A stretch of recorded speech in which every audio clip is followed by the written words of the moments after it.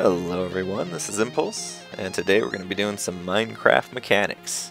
We're going to take a look at iron golem farms and spawn chunks, and basically what we want to do is see if iron golem farms will continue to produce iron inside of the spawn chunks in your world, even when you are not present. Uh, and basically outside of the loaded chunks um, near the spawn area and uh, hope to prove uh, whether or not that's iron's going to be producing. So to get started, what I did was I needed to find the spawn area, and so I got a little bit of help from the brilliant uh, KaboPC. He wrote an awesome mod, uh, Spawn Chunks mod, uh, that basically just highlights the spawn chunks in the world. And that's what you're looking at here, this big blue box. So what I did is I installed the mod, I turned that on just to get a look, and then I basically went around and you can see a iron border that I made. And I wanted to do that just to make sure I knew exactly where the world uh, spawn area was. So uh, really cool of Kabo uh, for making that mod. Definitely suggest you check out his channel. It's KaboPC. I will post a link to his channel in the description. He's one of the members of uh, JL2579 server crew, and uh, they do awesome work over there, so I suggest you give those guys a look. So now that I got the spawn region all figured out, the next step was to get an iron golem farm. So what I did, and was, I'll admit, I was a little too lazy to build my own. I went out and took a look around and tried to find one of the best iron golem farms I could find, and a YouTuber by the name of 101. Uh, he built a what he calls a golem hyper spawner, and uh, what he did was he figured out how to basically combine multiple villages into uh, single cells and also did a stacking technique that was discovered by another YouTuber named Tango Tek. So uh, both of those YouTubers, I will post their channel links in the description. And uh, 101, thank you so much. He actually posted his Iron Golem farm for download, which I um, stole from him. uh, I basically borrowed it uh, with pride. So that's what you're looking at here and I want to flip on another mod done by KaboPC that's just going to kind of show you. I'm not going to get too much into how this Iron Golem farm works. Definitely suggest you go check out 101's uh, video on that and also Tango Tek's uh, that explains how you can build one of these hyper spawners yourself. Um, but what I'm going to do is I'm going to flip on KaboPC's mod and that way we can see uh, that this is in fact multiple villages. So give me one sec, I'll turn that on. Alright, so I'm back, and as you can see, we have some very colorful bubbles in front of us. Um, this is KaboPC's villager, uh, village marker mod. Um, really, really cool. Nice work, Kabo. And what this is showing us is basically each color is representing a different village. And what uh, 101 did was, we'll take a peek inside. You can see all these lines. In each one of these cells, he's actually got multiple villages hooked up. So not only do you have the multiple villages, but you have multiple villages hooked up inside each cell. So it turns it into a, a very, very productive iron golem farm. So I simply borrowed that um, because I wanted a very active golem farm to help uh, prove or uh, disprove, we'll find out, uh, whether or not iron's going to be created while we are not even around this area. You know, this is uh, the spawn chunks. And, and there was one other thing to mention real quick.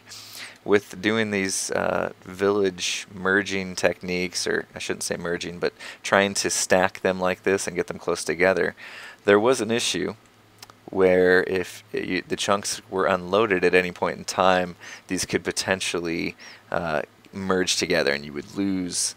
Uh, you would basically lose your villages, uh, or at least the ability to have multiple villages like this. And so the solution that the guys came up with was to put it in your spawn chunks. And great solution because the spawn chunks, they will always stay loaded. And with Kabo's spawn chunk mod, you can now see exactly where your spawn chunk is. So um, it kind of goes hand in hand. It's perfect. Okay, so let's get back to the experiment. Now let's go down and let's see if we got some iron. As you can see, there is plenty of iron in here. As I was uh, walking through all the details of, of the uh, setup of the experiment, these were collecting. And so let's just, let's grab them real quick, see what we got. So you can see I got over two stacks of iron. So this obviously is a very active iron golem farm. Pretty cool. And I'm going to go ahead and, and use this iron. there comes more. I'm going to use this iron to help prove the experiment. So the idea is spawn chunks are always loaded.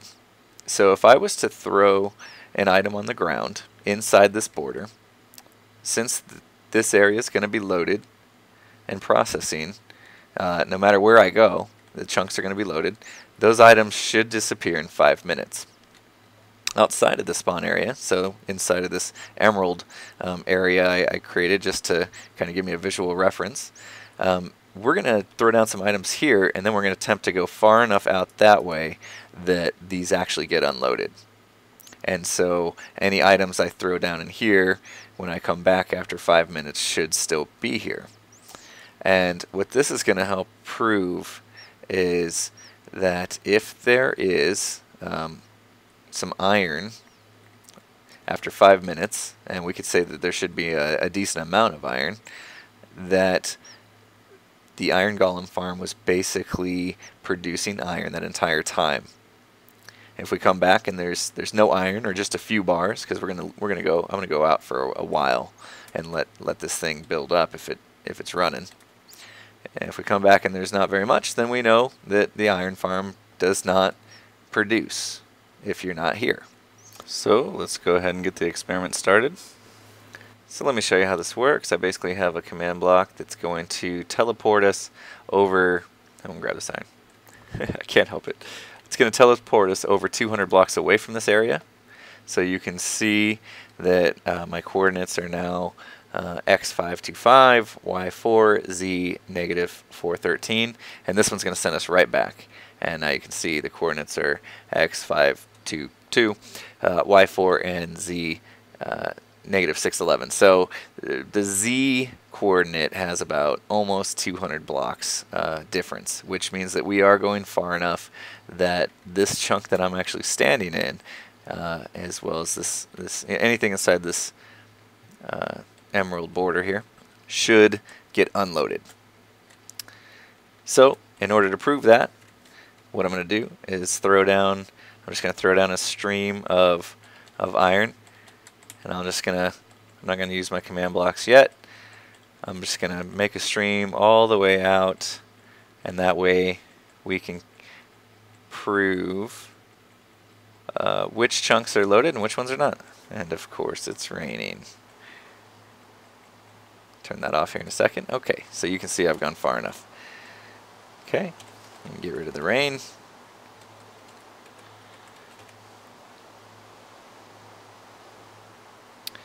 And now all I'm going to do is stand here until these uh, ingots disappear. So I won't make you th sit through that. I will cut away and I'll be right back with you as soon as they disappear. Okay, it's been five minutes. The ingots on the ground in front of me just disappeared. And so what we're going to do is make our way back. I'm just going to fly back and we'll see about how far we need to go before uh, we should start seeing some ingots again for the chunks that were unloaded. There they were. So we know that starting here, um, all these chunks right here in front of me were unloaded that entire time I was waiting. And we'll pick all these up, and with any luck, see, inside of this emerald area, you see that they're sitting in here, and then the ones I threw inside the iron, uh, they are gone, because they were inside the spawn chunks, and those were loaded the whole time. So let me clear these out,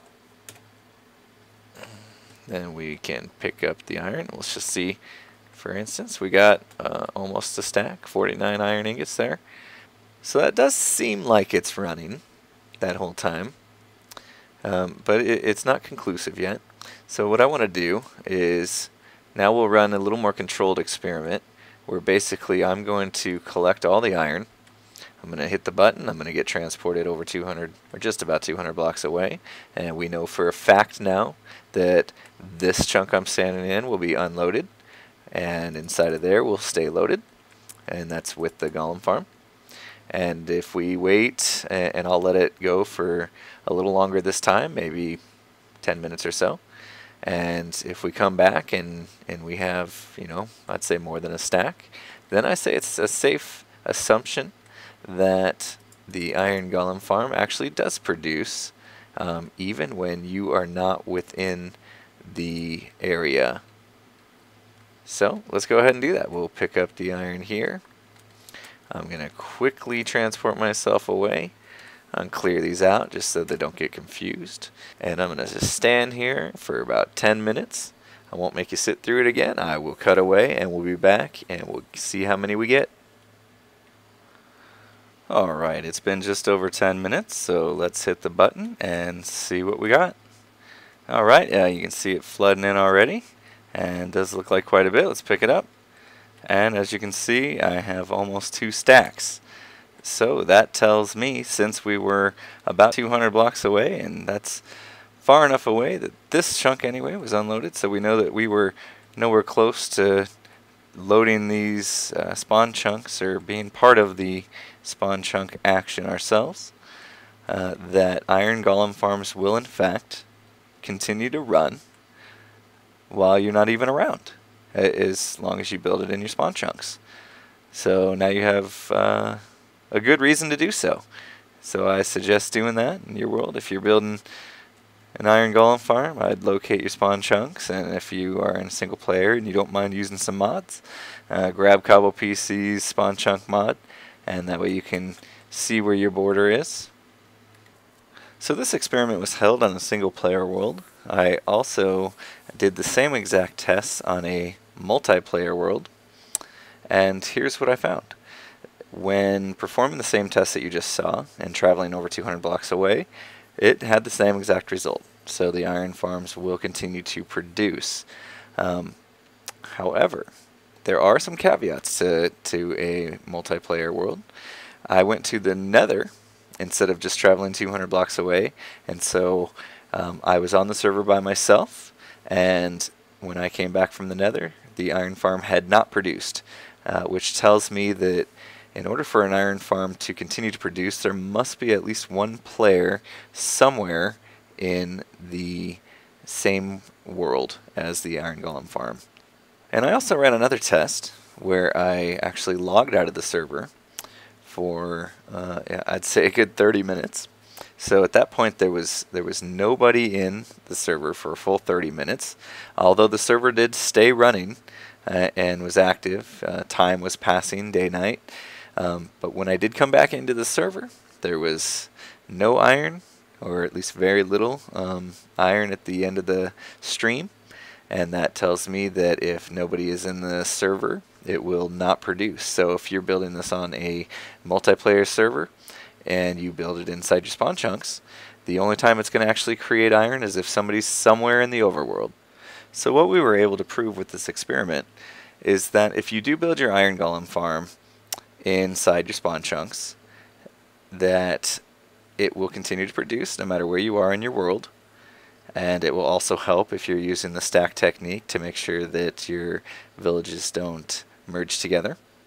So it's a good idea to do so. And also we learned that in a multiplayer server somebody at least one player needs to be present on in the overworld in order for it to continue to produce. If they are in the end or the nether, or nobody's connected at all to the server, it will not produce iron.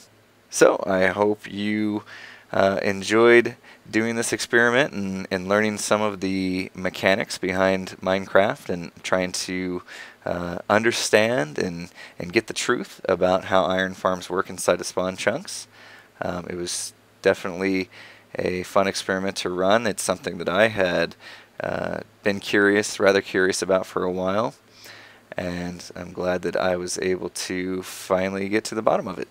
So, if you enjoyed my video, uh, please remember to give me a like, uh, give me some comments on it, and subscribe to my channel. I got other videos in there as well that you might find to your liking, and I'd appreciate the support. Thanks for watching.